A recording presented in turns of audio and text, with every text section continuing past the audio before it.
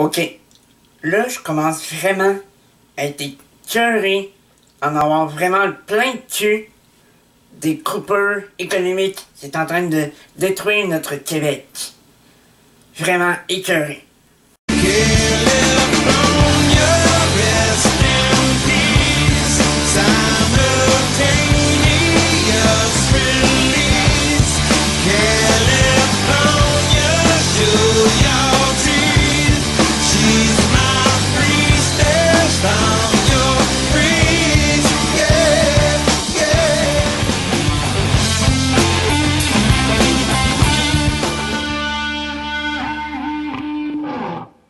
Vous avez peut-être euh, déjà entendu parler des histoires d'austérité en rapport avec euh, l'éducation. Arrêtez de penser que les profs veulent seulement avoir une plus grosse paye. Est-ce que vous vous rendez compte du lien direct entre les coupures scolaires et l'apprentissage?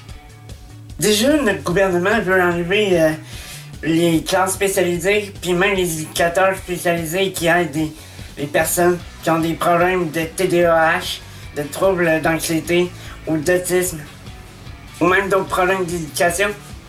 En coupant le financement, c'est les services aux élèves qui sont touchés. Déjà que les commissions scolaires ont déjà annoncé qu'ils allaient faire des coupures dans divers programmes, tels que l'aide aux devoirs, l'aide alimentaire, le transport scolaire, divers programmes d'aide aux immigrants ou d'activité physique. Déjà que des élèves d'autres euh, écoles dans la région seront privés de fêter l'Halloween. Ils pourront même plus se déguiser. Résultat, les moyens de pression des enseignants. Qu'est-ce que c'est ça? Qu'est-ce qu'on va faire, nous autres, si on n'a plus d'aide aux devoirs, plus de soins infirmiers, ni de psychologues dans nos écoles? Où c'est qu'elle s'en va, notre planète? Où c'est qu'elle s'en va? Puis tout ça est causé par quoi? À cause de cette saloperie de dette du Québec.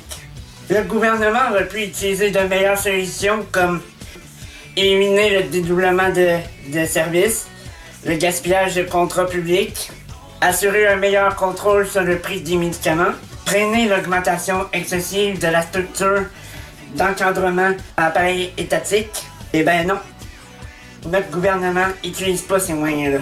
Parce que notre gouvernement veut faire de nous un peuple ignorant et facile à manipuler.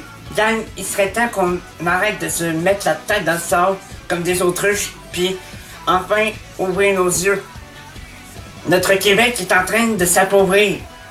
Si nous réagissons pas au plus vite, dès le lendemain, nous allons nous retrouver avec des pertes d'emplois, le retard dans la reprise économique, l'appauvrissement de la population, la diminution de la consommation, les fermetures des petits commerces, la diminution des services à la population, la poussée des inégalités sociales, puis l'augmentation à court terme de la dette publique. Est-ce le Québec que nous voulons? Alors, agissons pour empêcher ça. En commençant par partager cette vidéo à plus de monde possible. Parlez-en à vos proches. Faites n'importe quoi. Ensemble, on va réussir à pousser notre gouvernement à changer. Tout ça, je vous dis à bientôt.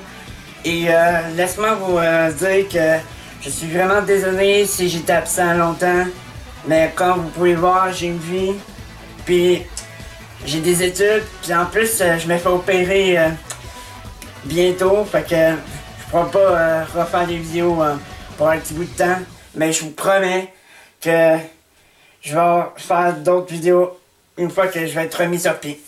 Sur ce, peace out!